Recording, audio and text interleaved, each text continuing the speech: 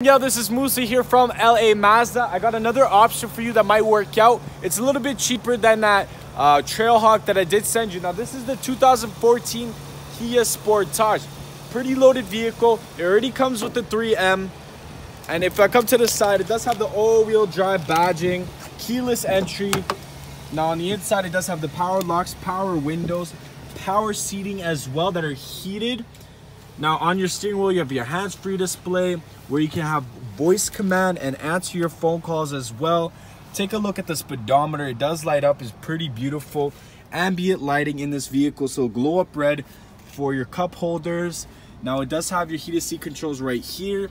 Dual zone climate control with a digital screen that will present your backup camera. You can connect to the Bluetooth. You do have a CD player as well. Now the cool thing about this vehicle, it does have the traction control, the hill assist, the eco button, and etc. Now I want to show you the second row as well. There's lots of room for any passengers that you might have. Last but not least, opening up the back, it is an SX.